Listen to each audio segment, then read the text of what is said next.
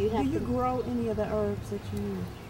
I don't presently because um, I realize that that would be a lot more work for me at this point. But um, it's something that as I get more hands with me, I'll definitely start cultivating more. So where do you get your products from?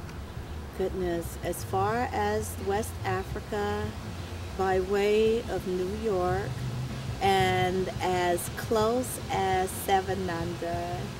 Has a beautiful herb counter. Like, I really like the way that um, they have their selection processes, and every once in a while, springtime will come around and you will find that it was a very good crop on a particular botanical, um, like for instance, if I go into Sevananda and I see that the marigold flowers are, um, as they're calling it, calendula, has come really vibrant, really orange, and they have like the whole flower as opposed to just the petals. Like I'm literally screaming for joy at the bulk counter because what that means is what may have been an awesome product just took my my presentation to the next level. And when I say my presentation, like for instance, this is one of my sea salt scrubs. And remember when we were talking about the sea scrub Mm. and I said that I'll go in and I'll work with the salt and the carrier oil and then I'll put in the herbs. One of the things that I've decided is that I really like it when the herbs are not chopped up, meaning that like you can actually see them. And so I feel like it really adds to the gifting prowess of certain recipes from the scrubs to the massaging oils to this product here, which is my JTC soap, which is essentially a comparable recipe to the scrubs itself, but it's going to be for bathing. It's a deep use bath, and so with it, you'll notice like there are the pot marigold flowers, but then like right under there, you have your anise star seed. And so with that, if I had decided to chop it instead, you really wouldn't be able to have the beauty of opening up a jar and saying, wow, that's pretty. You've got flowers in there, you've got seeds in there, and smells heavenly. And so it ends up being multisensory at that point. You mentioned the senses earlier in the interview. Like, Yes. um, tell us more about the importance of the senses. And you talked about how your daughter could come in and she may say add a little bit more of this or that. Can you talk a little bit more about that? Absolutely. With the senses, I realize that it varies from individual to individual. For some, it may be all about taste. We will invest our money going to the finest restaurants. We want to see how spices marry with one another. For someone else, it may be Chanel perfume that does it for them. They really love the activation of their olfactory system or their sense of smell. For others, it may be touch. They will have to have that weekly massage, even if it costs them $500 a month. They will make it happen. And so, as a multi-sensory company, I have found that I've created products that appeal to various senses. And so, as much as it is, I wanted to have rejuvenating or redirecting benefits with the different ingredients. I'm also um, very meticulous about the way that it looks, the way that it's going to smell, and I want to make certain that I'm working with ingredients that for the most part, if it really came down to it and you needed to eat it, then you could. And essentially, that's what should happen with natural skin or hair care. You should be working with ingredients, whether they taste good or not. For the most part, if you're putting it on your skin, you should be able to consume it. And so, you know, there are always asterisks and, you know, special rules to that. But for the most part, yes, you should be working with very healthy elements because we talked about the pot marigold flower, we talked about the anise star. Those are both two herbs that do really well as teas. Just put a little hot water on them and let them steep a bit. When you're dealing with people, particularly um, in the African American community, who've been used to like processed products, like how you described yourself as you were bleached and all this, and you transition, like cutting your hair off. When you um, deal with people who are transitioning from that into this more natural kind of way of life and pursuing natural products, how do you help them to understand what you're doing and how you develop or what these products can do for them? First and foremost, it has be approached with non-judgment. And when I say that, meaning just like how I was in a particular place and I had somewhere that I had to get to to be able to inspire others, I realized the very same thing happens with the next individual's growth and development. And so I always like to compare in the theory of roots, trees, and flowers. We're all some kind of tree or some kind of flower and we're just growing. For some of us, we may be an African violet or a short little poppy. For others, we may be a hardy gardenia bush. Others may be tall sunflowers. But we all have our purpose. We all have our contributions to society and nature.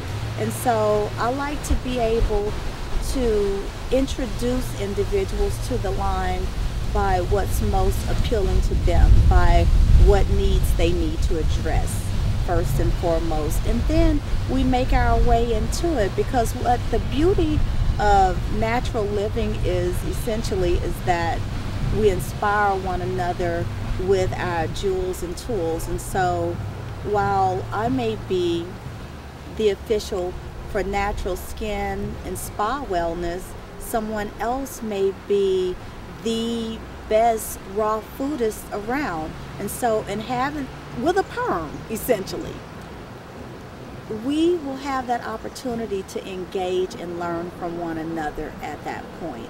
And so, we take it in steps and we communicate and we educate and we grow and heal one another. I do have a question. Yes. Um, using live herbs versus dried herbs, Mm-hmm. uh, how does that affect your product or have you experimented with that at all? Well, for me, I work with um, dried herbs, and the reason why I work with dried herbs is because for certain products, aside from the soaps, meaning products that don't have any sort of water in them, I would not want to have the potential of spoilage with the live herbs because they have to go through their process of releasing all the moisture. Otherwise, the decomposition processes could compromise the recipes and it could create spoilage sooner. Um, can you tell us a bit more about your candles and some of these other products that you have? Um, the ones that aren't related to the hair and the skin or the scrubs. Can you talk to us about that? Uh huh. So a little bit of spa time, essentially. Mm. And spa is probably one of my most favorite pastimes because that's the time that we get a chance to relax and heal and just feel good.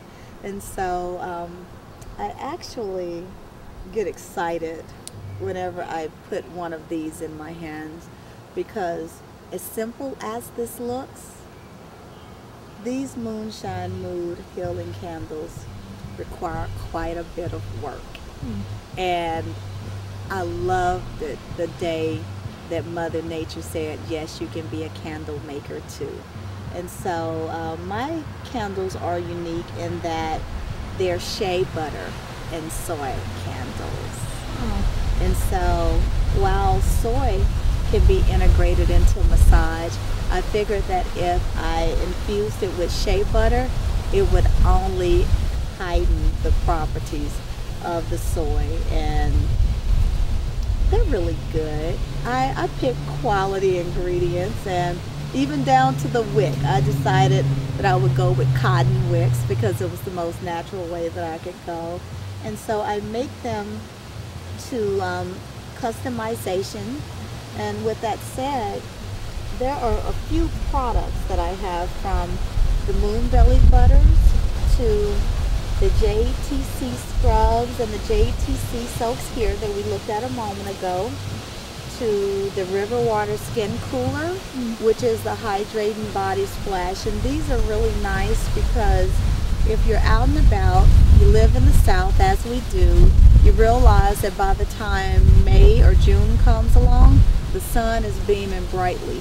So we may not want to have a body butter in our purse. This is going to be that natural perfume option that's alcohol free that goes in to give you that reboost of aromatherapy and it hydrates and cools the skin. Mm. So I really like this product.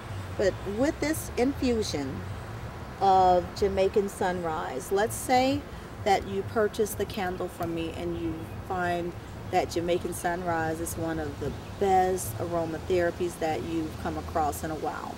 I could actually take that infusion and put it in the moon belly butter hmm. and the scrubs or the soaps or the river water skin cooler in addition to the candle.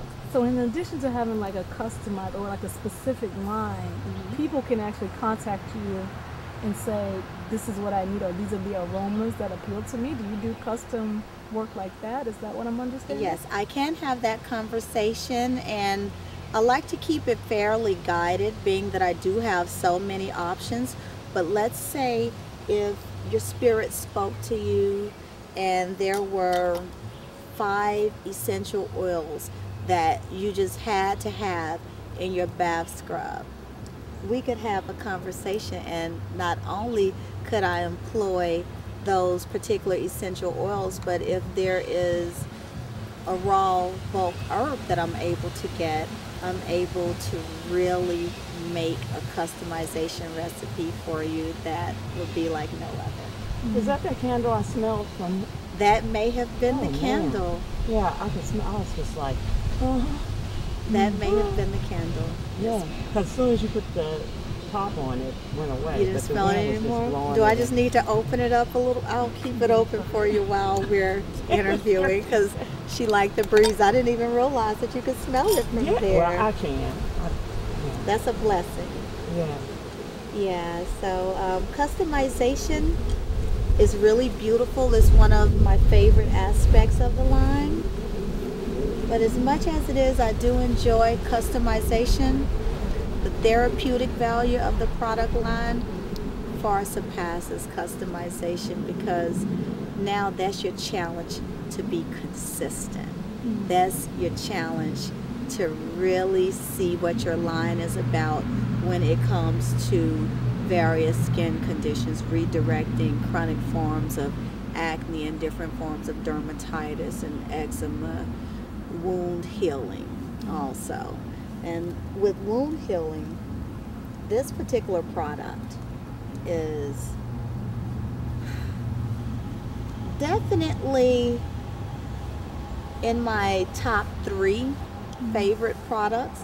This is Golden Dragon Tonic, and what this is is a regenerative antiseptic topical product.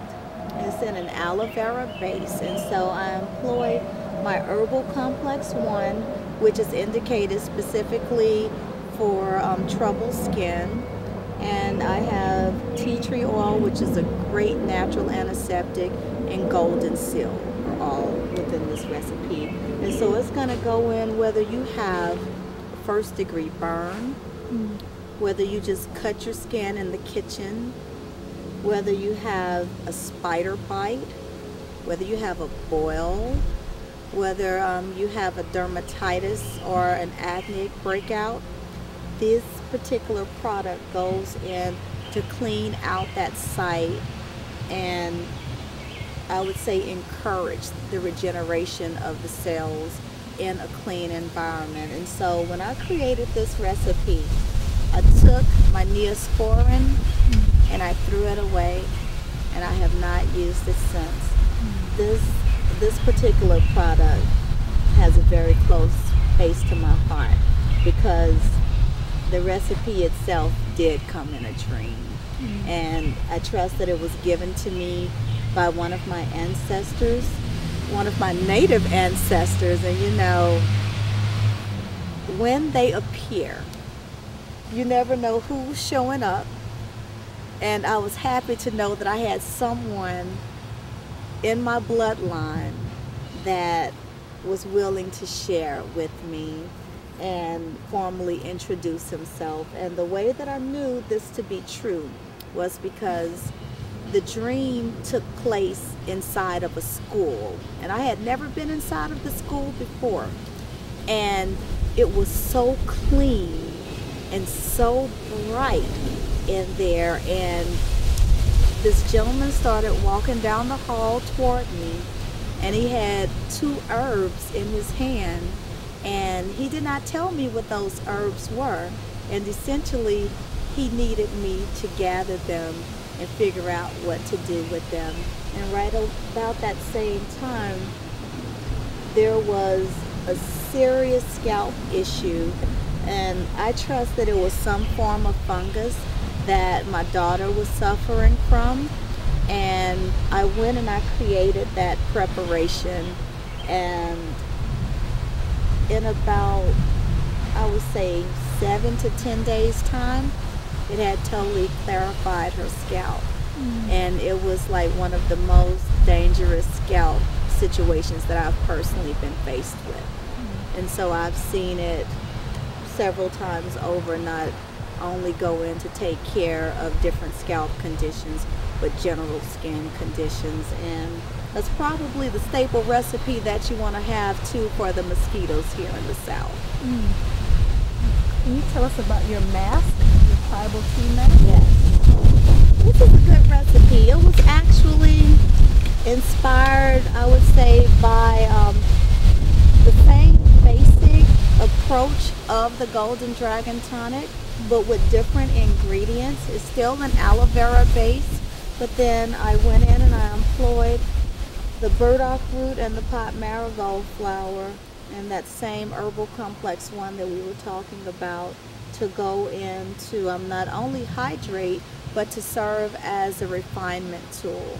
And so I really like this particular mask as a standalone product after my cleansing and exfoliation steps. But sometimes I like to utilize it as an integrative product. And so like let's say for the individual who enjoys clay masking. Mm. They would love to go ahead and moisten the clay with the tribal tea mask because now instead of just mixing it with water, now you're mixing it with aloe vera and a multitude of herbs is going to go in to serve the skin well. Mm. And so um, with this particular product here, I've found that I like to activate because I don't have much time. I like to activate my Herbal Feel Skin Slough, which if you notice is a dry product. Mm. This is a rice and oat scrub. And so with it, I get the powers of exfoliation and masking in one step combined. And so I don't know that I could be as great of a facial care specialist without either of these because this is a wonderful granular exfoliant for facial care and this provides me a level of facial refinement that if I don't have a lot of time and I'm needing to get right in and out of the shower I can still get a very polished finish with this product. This gets the dead skin cells off. This goes in and really gives the skin a nice degree of phytonutrients in mass form. Mm. And while we're talking about phytonutrients, there's one other product that I'd like to talk about, which is the Herbal Feel Skin Cooler. And with this product here, when I made this one, I was very excited because there are a lot of lines out there, but I found one of the things that I would say is more comfortable in commercial skincare lines are toners. Mm. You don't really hear about toners a lot within um, more of the traditional or indigenous lines. And with my um, schooling, I learned the power of a toner. But the difference between a bad toner and a good toner is the alcohol content. Mm. For something that's supposed to nourish the skin, it should not have an ingredient that would go in to take away the hydration faculties. And so I decided to be the toning anti-toner essentially. I said no, this is all about hydration. This is all about the phytonutrient boost. This is all about taking care of those cells. This is about redirecting blemishes and so I'm going to make the happiest alcohol-free toner that I possibly could and so I went back with the aloe vera as a base and I employed the burdock root.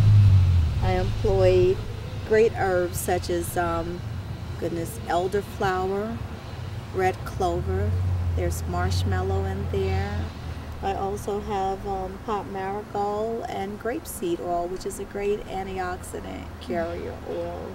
And so, of all of the products that I work with, when you consider customization, I work comfortably with about 50 different herbs for skin and body care.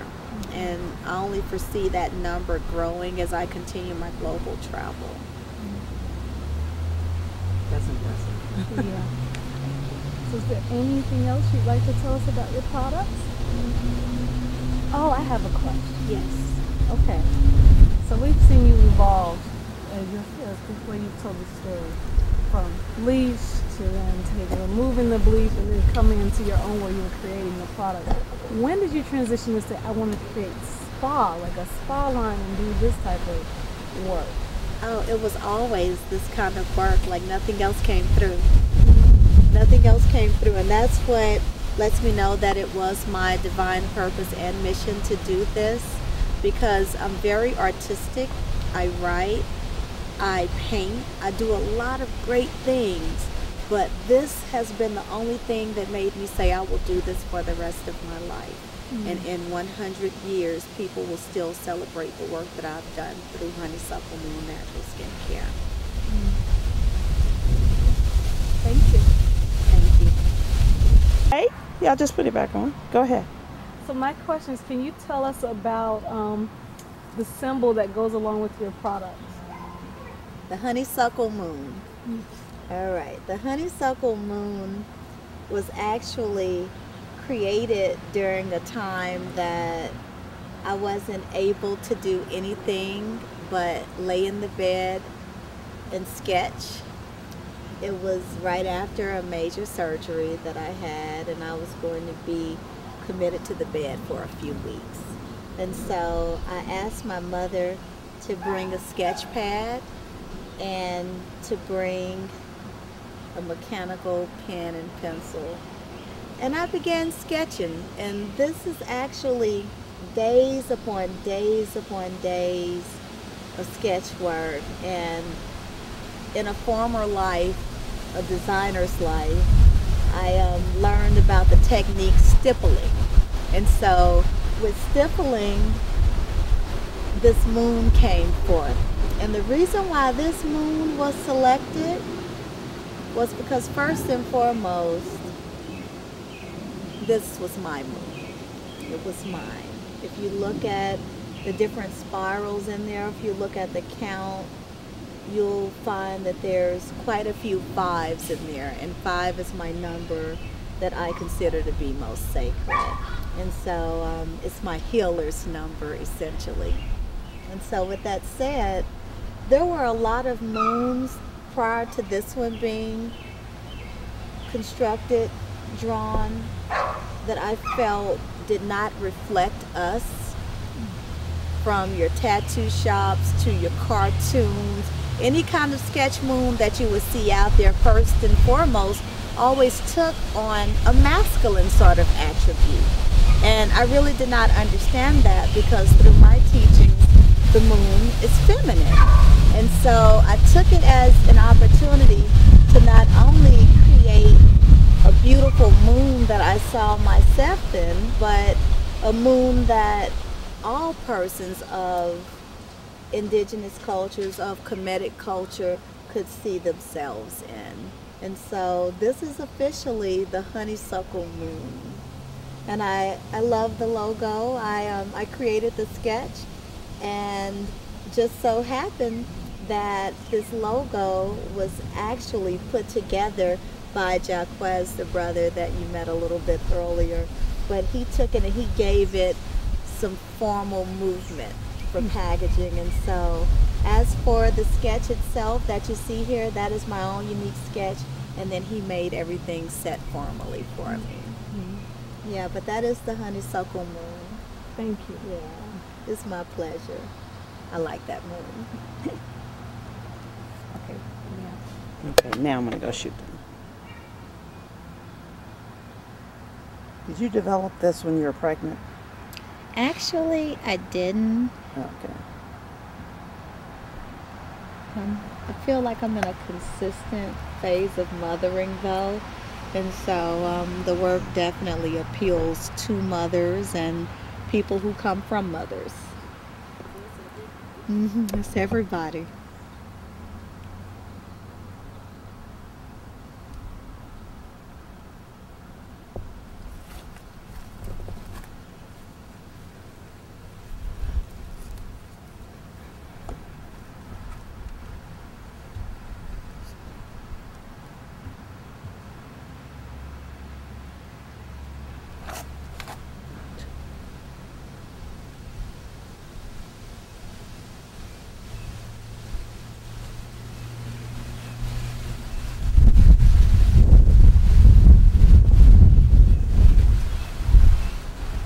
I just realized that says water.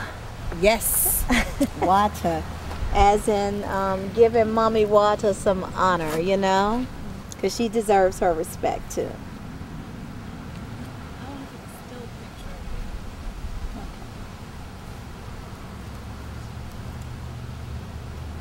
Hasn't the rain just been nice to us? Because it was like two, three drops that I came. know, and then it, then a little sun came out. The elements during this interview have been so fun. Yeah?